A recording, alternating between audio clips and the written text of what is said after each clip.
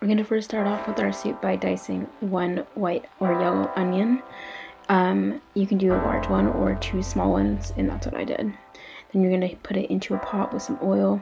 Now we're going to add in three to four potatoes, medium small sized, and we're going to finally slice them or dice them, as you would say, just so they cook really fast. Um, the smaller you cook them or cut them, they cook a lot faster. Um, and this goes with the other veggies. We're to get one large carrot, but we're gonna finally, finally slice it just so it can cook a lot faster. And the larger side of the carrot, I'm just cutting in half and then into more quarters and then slicing that up. And then we're gonna put it into our pot with the onion and potatoes and we're gonna slice up our celery. And once we're done slicing up our celery, then we're gonna add it to the pot as well. Now moving on to our herbs, we're gonna add in a couple stems of rosemary.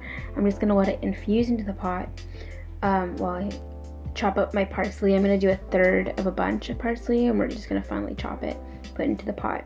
Aside from this, I'm also adding in some dried herbs such as oregano, some thyme, a little bit of cumin, salt, and pepper. Okay, so moving on to the veggie base, we're gonna add two tablespoons of veggie bouillon. Um, you can also do just vegetable stock. I like to do this though because it's a lot cheaper and it, I think it adds a lot more flavor when you do this. Um, and then we're gonna add a couple cups of water, around four cups of water. And after this, we're gonna add in our shredded cabbage. You can also get a whole cabbage head and cut it up really finely. You'd only need like a fourth of a cabbage for this. Um, and then we're also gonna add in some miso paste. I'm gonna do a tablespoon of miso paste. I think it tastes really good. And then I also like to add some acidity, so you can add either vinegar, white wine, or lemon.